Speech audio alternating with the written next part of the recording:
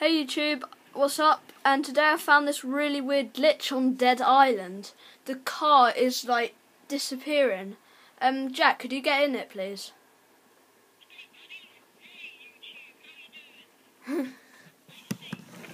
Wait. No, they can't. Uh, look, it's virtually. we are we are we are not hacking or anything. I think it's just a glitch that happens. It's a bit weird. Um, I'm now I'm gonna get in it. Jack, can you come over here? Wait, I'm just gonna get in it.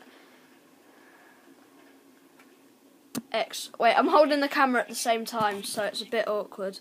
Um, okay, it's still invisible. Um, okay, YouTube, see you. Um, yeah, this was one two six game, guys. See you in the next video.